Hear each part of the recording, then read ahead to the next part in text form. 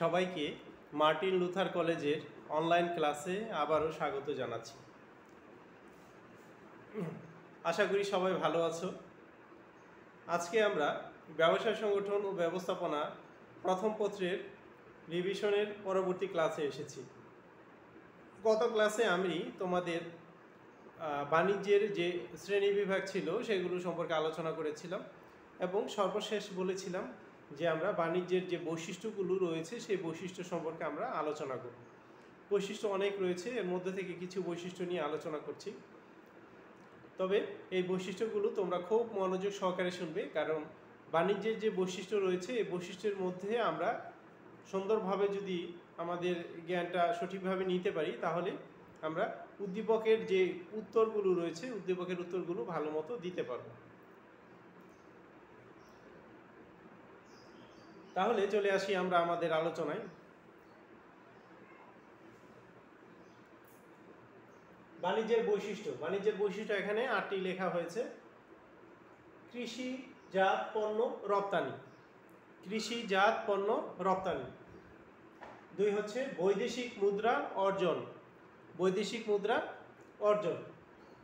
তিন হচ্ছে প্রয়োজনীয় পণ্য আমদানি। প্রয়োজনীয় যে পণ্য রয়েছে সেটা আমদানি। তারপর চার হচ্ছে জনশক্তি, রপ্তানি, পাঁচ হচ্ছে জাতীয় রাজস্ব বৃদ্ধি, ছয় বৈদেশিক সম্পর্ক উন্নয়ন, সাত হচ্ছে দেশীয় পণ্যের বাজার সৃষ্টি এবং আট হচ্ছে অবকাঠামোগত উন্নয়ন। তোমরা একটু মনোযোগ সহকারে দেখে নাও। এরপর আমরা ভালো মতো আরেকবার আলোচনা করব।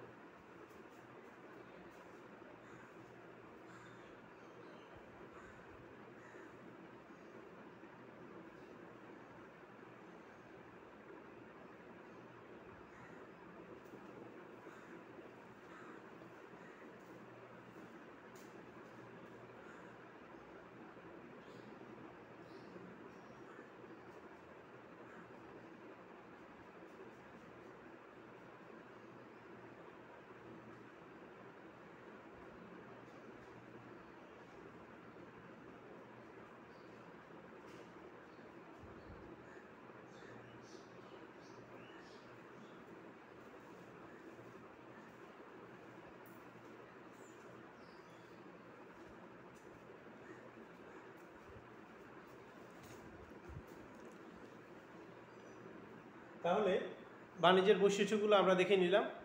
এবার আসি আমরা আলোচনায়। খুব মনোযোগ সহকারে আমরা আলোচনা, আলোচনাটা লক্ষ্য করব এবং আমি ক্লাস, প্রতিটা ক্লাসেই তোমাদের মনে করিয়ে দিই যে আমরা অবশ্যই কী করব? বই পড়ব, তারপর লেকচার শুনব অথবা লেকচার শুনব, বই পড়ব। তাহলে দুইটি কাজ যদি আমরা একসাথে করি, আমরা আমাদের সমস্যাগুলো কিন্তু বের করতে পারব। দেখা যাচ্ছে টিচার কি বললেন এবং বই কি লেখা বা বইয়ে যা লেখা টিচার কি বললেন এই দুটার সমন্বয়ে আমরা যদি ক্লাসটা বোঝার চেষ্টা করি, তাহলে কিন্তু আমরা অতি সহজেই বুঝতে পারব। বইয়ের মধ্যে লেখা আছে, অনেক সময় দেখা যাচ্ছে যে স্যারের লেকচার শোনার পর যে বিষয়টা আরও ক্লিয়ার আবার দেখা যাচ্ছে যে স্যারের লেকচার শুনেছি স্যার কি বলল, একটু, আরেকটু যদি ক্লিয়ার হতো ভালো হয়। তাহলে বইটা পড়ে আমি আরও ধারণা নিতে পারি। তাহলে এর ফলে কি হচ্ছে দুটা জায়গা থেকে আমি ক্লাস করছি এক জায়গায় এক জায়গায় বই পড়ছি। তাহলে দুটা সমন্বয়ে কিন্তু একটা ভালো ফলাফল আসে। এই জন্য তোমরা বসে কি করবে? লেকচার শুনবে, বই পড়বে বই পড়বে লেকচার শুনবে। তাহলে বাণিজ্যের বৈশিষ্ট্য এক নম্বর, আমরা এখানে পাচ্ছি কৃষিজাত পণ্য রপ্তানি। তাহলে কৃষিজাত পণ্য বলতে বোঝাচ্ছে কি? এই কৃষিজাত পণ্য, আমরা কৃষিতে ধান হতে পারে, পাট হতে পারে, তারপর হচ্ছে এই যে আমাদের রাবার হয় তারপর হচ্ছে আমাদের পান হচ্ছে, তারপর আমাদের বিভিন্ন ধরনের চা হচ্ছে। তাহলে এই যে বিষয়গুলো রয়েছে, এগুলো কিন্তু আমরা কি করতে পারি? এটা, এটার সাথে সাথে মৎস্য মৎস্য হতে পারে। এখানে কৃষিজাতের সাথে আমরা মৎস্য যেমন আমরা এখানে চিংড়ি মাছ, তারপর হচ্ছে কাঁকড়া, তারপর হচ্ছে ইলিশ মাছ, এগুলো কিন্তু আমরা বিক্রি করে থাকি। তাহলে এই যে কৃষিজাত পণ্য রপ্তানি, এই কৃষির মাধ্যমে আমরা যেগুলো উৎপাদন করছি, সেগুলো কিন্তু আমাদের চাহিদা মেটানোর পর বাহিরি দেশে বিক্রি করি প্রচুর পরিমাণে বৈদেশিক মুদ্রা অর্জন করতে সক্ষম হচ্ছে। এবং এর ফলে কি হচ্ছে? আমাদের দেশের চাহিদা মেটানোর সাথে সাথে অন্য দেশে বিক্রি করার ফলে তাদের সাথে একটা সুসম্পর্কও তৈরি হচ্ছে। ফলশ্রুতিতে আমাদের কোনো কিছু প্রয়োজন পড়লে তাদের কাছ থেকে আমরা আমদানি করেও নিয়ে আসতে পারি। যেহেতু তাদের সাথে বাণিজ্য চুক্তি হয়েছে। তাহলে এই জন্য আমরা বলতে পারি কি? কৃষিজাত পণ্য রপ্তানি, এটা হচ্ছে বাণিজ্যের একটি গুরুত্বপূর্ণ বৈশিষ্ট্য। কৃষি যে কৃষি উৎপাদনের পর এগুলো থেকে আমরা যেগুলো প্রয়োজন মেটানোর পর আমরা যেগুলো থাকে সেগুলো কিন্তু আমরা বিক্রি করতে পারি। যেমন কৃষিতে আমাদের পাট পাট কিন্তু একসময় অনেক বেশি আমাদের কি ছিল? সুনাম অর্জন করেছিল। এরপর হারিয়ে যাওয়ার পর বর্তমানে কিন্তু পাটের বাজার আবার খুব ভালো। পাট আমরা কি করতে পারি? এগুলো সরাসরি বিক্রি করতে পারি অথবা পাট থেকে বিভিন্ন উৎপাদিত যেমন পণ্য সামগ্রী হতে পারে। যেমন আমরা বিভিন্ন ধরনের থলে, বিভিন্ন ধরনের ব্যাগ ব্যবহার্য যে শপিং ব্যাগগুলো রয়েছে, এগুলো, তারপর বিভিন্ন ধরনের ফার্নিচারের আশেপাশে ব্যবহারের জন্য বিভিন্ন ধরনের বাচ্চাদের পুতুল তৈরি করা হয়। এই যে এগুলো রয়েছে, এগুলোকে আমরা কি করতে পারি? বেডশিট তৈরি করা হচ্ছে। এগুলো কিন্তু পাটের তৈরি। এগুলো, এই পণ্যজাত এগুলো বিক্রি করে দেশের বাজার চাহিদা মেটানোর পর বিদেশের বাজারে বিক্রি করে প্রচুর পরিমাণে বৈদেশিক মুদ্রা অর্জন করা সক্ষম। এর জন্য বলা হচ্ছে কৃষিজাত পণ্য রপ্তানি। কৃষিজাত পণ্যগুলো আমরা বাহিরে দেশে বিক্রি করতে পারি। এটা কিন্তু বাণিজ্যের একটি গুরুত্বপূর্ণ বৈশিষ্ট্য। এরপর হচ্ছে বৈদেশিক মুদ্রা অর্জন। যেহেতু আমরা কৃষিজাত পণ্য রপ্তানি করতে পারি, মোট কথা আমাদের দেশের জিনিসগুলো অন্য দেশে বিক্রি করতে পারি, তাহলে ওই দেশ থেকে তো অবশ্যই অর্থ আসবে। তাহলে সেটা কিন্তু বৈদেশিক মুদ্রা। এই বৈদেশিক মুদ্রা আমরা কীভাবে অর্জন করতে পারি, আমাদের চাহিদা মেটানোর পর কোনো কিছু বাইরের দেশে বিক্রি করলে সেই দেশের অর্থগুলো কিন্তু বাংলাদেশে আসে। তাহলে এইটাকে আমরা বলতে পারি কি, বৈদেশিক মুদ্রা মানে বিদেশের মুদ্রা। এই বৈদেশিক মুদ্রা অর্জন করতে পারি আমরা কিসের মাধ্যমে? এই বাণিজ্যের মাধ্যমে। কারণ বাণিজ্য করে আমরা দেখা যাচ্ছে বাংলাদেশে গার্মেন্টস ফ্যাক্টরিগুলো রয়েছে বা গার্মেন্টস ফ্যাক্টরিতে হাজার হাজার কোটি টাকার লেনদেন হচ্ছে। তাহলে এর ফলে কি হচ্ছে? বিদেশের মুদ্রাগুলো বাংলাদেশে আসছে। গার্মেন্টস ফ্যাক্টরি যেমন বাংলাদেশ থেকে জিন্স তৈরি হচ্ছে, বাংলাদেশ থেকে শাড়ি তৈরি হচ্ছে, বাংলাদেশ থেকে পাঞ্জাবি তৈরি হচ্ছে, বাংলাদেশ থেকে শার্ট টি শার্ট তৈরি হচ্ছে। তাহলে এই যে এগুলো এগুলো কিন্তু বাংলাদেশের গার্মেন্টস ফ্যাক্টরি থেকে পরবর্তী বিভিন্ন দেশে যাচ্ছে। আমেরিকাতে যাচ্ছে, সিঙ্গাপুরে যাচ্ছে ইউকেতে যাচ্ছে। তাহলে এই যে যাচ্ছে, এগুলোর ফলে কিন্তু সেই দেশের অর্থগুলো বাংলাদেশে আসে। আর বাংলাদেশে আসার মানে হচ্ছে কি? বৈদেশিক মুদ্রা অর্জন, আমরা বিদেশের মুদ্রা অর্জন করতে পারি। তাহলে এটা কিন্তু বাণিজ্যের একটি গুরুত্বপূর্ণ বৈশিষ্ট্য। তিন নম্বর হচ্ছে প্রয়োজনীয় পণ্য আমদানি। তাহলে আমরা শুধুমাত্র বাহিরের দেশে বিক্রি করব বাহিরের বাহিরের দেশের বৈদেশিক মুদ্রা অর্জিত হবে, তাহলে সেই দেশের মানুষরাও তো চিন্তা করে যে আমরাও বৈদেশিক মুদ্রা অর্জন করব, আমরাও রপ্তানি করব। তাহলে সেই দেশের মানুষ যে সময় এই কাজগুলো আমাদের সাথে করবে, আমাদের জন্য সেটা হয়ে যাবে কি? আমদানি। কারণ আমরা কোনো দেশে বিক্রি করলে সেটা আমাদের জন্য রপ্তানি আর অন্য দেশের জন্য আমদানি। আর তেমনিভাবে আমরা যদি কোনো দেশ কোনো দেশ থেকে কোনো কিছু নিয়ে আসি, তাহলে সেটা হয়ে যাবে আমাদের জন্য আমদানি। মানে আমরা সেগুলো ভিন্ন আরেকটি দেশ থেকে নিয়ে আসলাম। তাহলে এটা কি? প্রয়োজনীয় পণ্য আমদানি করা যায়। এটা বাণিজ্যের বৈশিষ্ট্য। কারণ বাণিজ্যের মাধ্যমে এটা সম্ভব। বাণিজ্য চুক্তি যদি না থাকে, আমি অন্য দেশ থেকে কোনো জিনিস ক্রয় করতে পারব না, অন্য দেশে বিক্রিও করতে পারব না। কারণ এটা বাণিজ্য নীতি বহির্ভূত হয়ে যাবে, বেআইনি হয়ে যাবে। আর এর ফলে কী করতে হবে? আমদানি বাণিজ্য এবং রপ্তানি বাণিজ্যের যে চুক্তি রয়েছে, সেই চুক্তি অনুযায়ী আমাকে কাজ করতে হবে। সেই চুক্তিনামা আমার জন্য বৈধ পন্থায় নিয়ে আসতে হবে। তাহলে এই বিষয়টা কী কী করে আমাদের প্রয়োজনীয় পণ্য আমদানির ক্ষেত্রে সহায়তা করে থাকে? দেখা গেল বাংলাদেশে পেঁয়াজের সময়, গত কয়েক বছর আগে পেঁয়াজের দাম হয়েছিল দুশো টাকা কেজি। তাহলে পেঁয়াজ নেই তাহলে আমরা মায়ানমার থেকে চাউল নিয়ে আসলাম, ইন্ডিয়া থেকে পেঁয়াজ নিয়ে আসলাম। তাহলে এই যে পেঁয়াজ আমদানি, চাউল আমদানি, এগুলো কিন্তু আমাদের কীভাবে সম্ভব হয়েছে? এই আমদানি রপ্তানি বাণিজ্যের চুক্তির মাধ্যমে। তাহলে এই ধরনের চুক্তি যদি না থাকতো বা তাদের সাথে যদি আমদানি বাণিজ্যের যে একটা সুসম্পর্ক, সেই সুসম্পর্ক বজায় না থাকতো, আমরা কিন্তু নিয়ে আসতে পারতাম না। এর ফলে যতই অর্থ থাকুক, আমরা অভাবের মধ্যে পড়ে থাকতাম। আমরা চাহিদা অনুযায়ী কোনো জিনিস পেতাম না। তাহলে এটা কি করে? প্রয়োজনীয় পণ্য, আমদানি ক্ষেত্রেও গুরুত্বপূর্ণ ভূমিকা পালন করে থাকে। তাহলে কৃষিজাত পণ্য, রপ্তানি, বৈদেশিক মুদ্রা অর্জন এবং প্রয়োজনীয় পণ্য আমদানি। আশা করি তিনটা ক্লিয়ার হয়েছে। এবার আমরা আসি চারে, জনশক্তি রপ্তানি। তাহলে জনশক্তি বলতে বোঝাচ্ছে কি? মানব সম্পদ। এই যে আমাদের দেশে অধিকাংশ গ্রাম অঞ্চলের মানুষই দেখা যাচ্ছে কোনো না কোনো দেশে থাকে, মিডল ইস্টে বিশেষ করে, Saudi, Kuwait, Qatar, Dubai, Malaysia, বিভিন্ন দেশে থাকছে। আবার একটু পড়ালেখা জানা হলে কেউ স্টুডেন্ট ভিসায় বা জব ভিসায় দেখা যাচ্ছে কেউ ইউকেতে যাচ্ছে, কেউ ইউএসএতে যাচ্ছে, কেউ কানাডাতে যাচ্ছে, রাশিয়াতে যাচ্ছে ইটালিতে যাচ্ছে। তাহলে এর ফলে কি হচ্ছে? আমাদের যে জনগণ, এটা বাহিরের দেশে যে কিন্তু টাকা উৎপাদ, টাকা তারা অর্জন করছে। আয় করছে। এই অর্জিত আয়ের টাকা কিন্তু তারা সব কিছু খরচ করে ফেলে না। তাদের আত্মীয় স্বজন বাংলাদেশে থাকে, সেখানে তারা পাঠায়। জমি জমা অনেকে কিনে, অনেকে ব্যবসা বাণিজ্য করে বা অনেকে এই দেশে আসতে চায়, ওই দেশে এসে ব্যবসা বাণিজ্য করতে চায়। তাহলে এর ফলে কি হয়? তারা কিন্তু এই জনশক্তি হিসেবে এগুলো কাজগুলো করে থাকে। এই জনশক্তি বাংলাদেশ সরকার কি করে থাকে? বিভিন্ন বাংলাদেশের যে প্রবাসী কল্যাণ মন্ত্রণালয় রয়েছে, বৈদেশিক ও কর্মসংস্থান মন্ত্রণালয়। এর মাধ্যমে কি করে থাকে সরকার? বিভিন্ন দেশে জনশক্তি রপ্তানি করে থাকে। দেখা গেল যে অস্ট্রেলিয়াতে কর্মী নেওয়া হচ্ছে।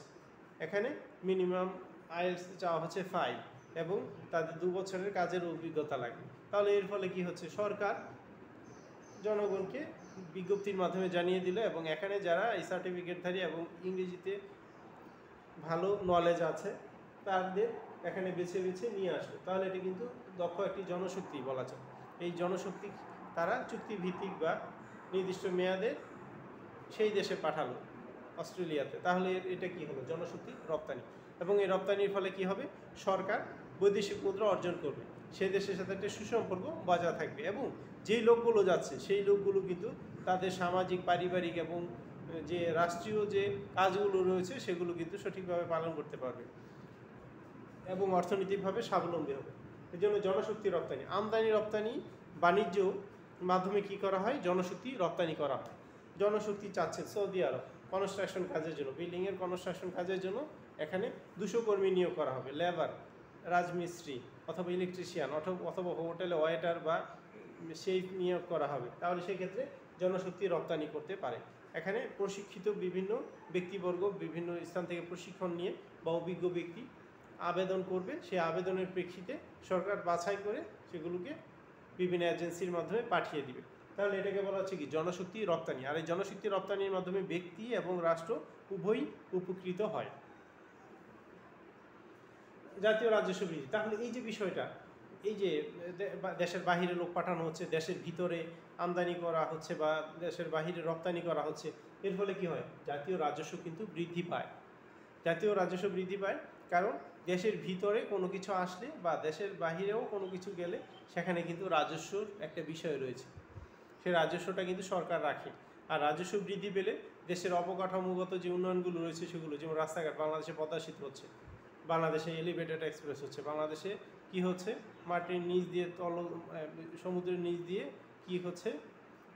লাইন হচ্ছে। সেখান দিয়ে গাড়ি চলাচল করবে। বঙ্গবন্ধু ট্যানেল যেটাকে বলা হচ্ছে। তাহলে এই পরমাণু বিদ্যুৎ কেন্দ্র স্থাপিত হচ্ছে। তাহলে সরকার এই টাকা কোথা থেকে পাচ্ছে? এগুলো কিন্তু এই যে নতুন বিমানবন্দর এক্সটেনশন করা হচ্ছে, এগুলো কিন্তু সরকার কি করে? তার রাজস্ব খাত থেকে এই টাকাগুলো নেয়। এরপর যদি ঘাটতি পড়ে, তাহলে কোনো দেশ থেকে বা কোনো প্রতিষ্ঠানের কাছ থেকে তারা নিতে পারে। তাহলে এই যে রাজস্ব উন্নয়ন, এই রাজস্বের উন্নয়ন যদি না ঘটে, তাহলে কিন্তু আমাদের যে, আমাদের নয়, যে কোনো দেশের যে আর্থিক অবস্থা, সেটার বজায় থাকবে না। ভারসাম্যহীনতার মাধ্যমে আর্থিকভাবে সে অর্থনৈতিকভাবে দুর্বল হয়ে পড়বে। তাহলে এই জাতীয় রাজস্ব বৃদ্ধির ফলে কি হয়? আমরা আরও বেশি শক্তিশালী হই। আর এই জাতীয় রাজস্ব বৃদ্ধির ক্ষেত্রে বাণিজ্য অনেক বেশি সহায়তা করে। কারণ বাণিজ্যের মধ্যে কি হয়? পাইকারি হয়, খুচরা হয়, আমদানি হয়, রপ্তানি হয়, পুনরায় রপ্তানি হয়। তাহলে এই যে বিষয়গুলো, এগুলো সব কিছু অর্থের সাথে সংশ্লিষ্ট। আর ব্যবসা করলে সরকারকে সেখানে ভ্যাট এবং ট্যাক্স দিতেই হয়। তাহলে এর ফলে কী হবে? জাতীয় রাজস্ব বৃদ্ধি পাবে। ভ্যাট দিতে হচ্ছে দৈনন্দিন পণ্য বিক্রির ক্ষেত্রে, আর ট্যাক্স দিতে হচ্ছে কি? বাৎসরিক ভিত্তিতে। আমরা জানি করি। তাহলে বাকি রয়েছে তিনটে, বৈদেশিক সম্পর্ক উন্নয়ন, দেশীয় পণ্যের বাজার সৃষ্টি এবং অবকাঠামোগত উন্নয়ন। তাহলে বৈদেশিক সম্পর্ক উন্নয়ন। তাহলে বৈদেশিক সম্পর্কের উন্নয়ন কীভাবে ঘটে? যে আমদানি করছি, কোনো দেশ থেকে আমি নিয়ে আসছি, তাহলে আবার সেই দেশে বিক্রি করছি। তাহলে এর ফলে কি হবে? আমদানি হচ্ছে, রপ্তানি হচ্ছে, সেই দেশের সরকারের সাথে, সেই দেশের ব্যবসায়ীদের সাথে আমাদের দেশের ব্যবসায়ীর একটি সক্ষতা তৈরি হবে, একটা মিলবন্ধন তৈরি হবে এবং বৈদেশিক সম্পর্ক আরও বেশি উন্নয়নশীল হবে। তারা আমাদের দেশে আরও বেশি ইনভেস্ট করবে, তারা আমাদের দেশ থেকে পণ্য নিবে, আমরাও তাদের দেশে আগ্রহী হব, পণ্য নিব এবং সেই দেশে যে ভালো কিছু রয়েছে সেগুলো আমরা নিয়ে আসব। এর ফলে কি হবে? দুই দেশের মধ্যে একটা বৈদেশিক যে একটা সম্পর্ক রয়েছে, আন্তঃবাণিজ্যিক সম্পর্ক, সেটা আরও বেশি শক্তিশালী হয়। সাত নম্বর হচ্ছে দেশীয় পণ্যের বাজার সৃষ্টি। সাত নম্বর কি? দেশীয় পণ্যের বাজার সৃষ্টি। দেশীয় পণ্য যেমন কিছুক্ষণ আগে বলেছিলাম পাটজাত পণ্য হতে পারে। তারপরে বাংলাদেশের মসলিন কাপড় একসময় খুব বিখ্যাত ছিল। আবারও সরকার বিভিন্নভাবে অনেক পরিশ্রম করে সেটাকে অনেকটা কাছে নিয়ে এসেছে। আশা করি অতি শীঘ্রই আমরা মসলিন কাপড় ব্যবহার করতে পারব। তাহলে এই দেশীয় পণ্যের বাজার সৃষ্টি। দেশীয় পণ্যের যেমন দেশীয় যে বিভিন্ন পণ্য রয়েছে যেমন বাংলাদেশের ঐতিহ্যবাহী পিঠা হতে পারে, বাংলাদেশের ঐতিহ্যবাহী যে লুঙ্গি, গামছা, শাড়ি, এগুলো কিন্তু বাংলাদেশের বাহিরের দেশগুলোতেও চাহিদা রয়েছে। বাংলাদেশের যে লোকগুলো বাহিরের দেশে থাকে, তারা কিন্তু এগুলো বাংলাদেশে পরে অভ্যস্ত। অর্থাৎ দেশের বাইরে গেলে তারা কিন্তু এগুলো পড়তে চায় বা এগুলো খেতে চায়। যেমন বাংলাদেশের চাউল, কালিজিরা ধানের চাউল, অথবা এই পায়েস তৈরি করার জন্য বিভিন্ন ধরনের চাউল থাকে। তাহলে এই যে এগুলো কিন্তু অন্যান্য দেশে এরকম পাওয়া যায় না। তারপর যে বাংলাদেশের যে ঐতিহ্যবাহী বিভিন্ন ধরনের পণ্য সামগ্রী রয়েছে, যেগুলো আমরা ব্যবহার করে অনেক বেশি স্বাচ্ছন্দ্য বোধ করি, যেমন নকশি কাঁথা। তাহলে এগুলো কি? দেশীয় বাজার, দেশীয় পণ্যের বাজার সৃষ্টি। এগুলো কিন্তু আমাদের দেশে যদি আমরা এগুলো ভালো মতো চর্চা করি, এগুলোর কিন্তু আরও বেশি উন্নয়ন ঘটবে। উন্নয়ন ঘটার পর এগুলোর চাহিদা মিটিয়ে আমরা দেশের বাহিরে বিক্রি করে বৈদেশিক মুদ্রা অর্জন করতে পারি। তাহলে এটি কি? দেশের পণ্যের একটা বাজার সৃষ্টি হয়।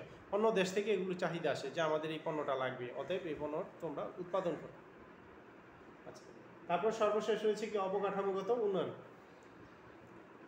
অবকাঠামো বলতে বোঝাচ্ছে কি? রাস্তাঘাট গ্যাস, বিদ্যুৎ, নিরাপত্তা তারপরে ব্যাংক বিমা, এগুলোকে বলা হচ্ছে অবকাঠামো। মানে কোনো একটি ব্যবসা প্রতিষ্ঠান যদি তৈরি হয়, তাকে ডেভেলপ করার জন্য এটাকে আরও অনেক কিছু সাপোর্ট দিতে হয়। যেমন, আমি যদি একটি মিল কারখানা তৈরি করি, তাহলে সেখানে কিন্তু আমার কি লাগবে? সর্বপ্রথম বিদ্যুৎ লাগবে, যাতায়াতের ব্যবস্থা লাগবে, কারণ পণ্য আনা নেওয়ার কাজ। তারপর কি করবে? লাগবে সেখানে, যেহেতু অর্থনৈতিকভাবে আমরা সেখানে অর্থনৈতিক একটি ব্যবসায়িক প্রতিষ্ঠান, তাহলে সেখানে আমরা মানে অর্থনৈতিক যে বিষয়গুলো সেখানে জড়িত, কারণ কর্মীদের বেতন দিব, পণ্য ক্রয় বিক্রয় করব, আমদানি রপ্তানি হবে, তাহলে সেখানে আমার কি লাগবে? নিরাপত্তা লাগবে, ব্যাংক লাগবে, সেখানে পানি লাগবে, সেখানে আমার কি লাগবে? বর্তমানে যে প্রযুক্তি রয়েছে, ইন্টারনেট, সেই ইন্টারনেটের ব্যবস্থা থাকতে হবে। তাহলে এই যে বিষয়গুলো রয়েছে, এই বিষয়গুলো আমাদের কি অবকাঠামোগত উন্নয়ন? তাহলে এটা কিন্তু কোনো জায়গায় মিল ফ্যাক্টরি হলে কোনো কোনো জায়গায় কোনো কিছু স্থাপিত হলে, আমদানি রপ্তানি, বাণিজ্য তৈরি হলে, সেখানে এই অবকাঠামোগত উন্নয়ন কিন্তু অটোমেটিকলি হয়ে যায়। কারণ এগুলো ডেভেলপ না হলে আমরা আন্তর্জাতিকভাবে বা দেশীয়ভাবে আমাদের যে পণ্য বাণিজ্য সেই পণ্য বাণিজ্য করতে পারব না। কারণ প্রিয় শিক্ষার্থীরা, তোমরা আরেকবার এক থেকে আট পর্যন্ত দেখে নাও। আমাদের ক্লাস প্রায় শেষের দিকে, আরেকবার দেখে নাও।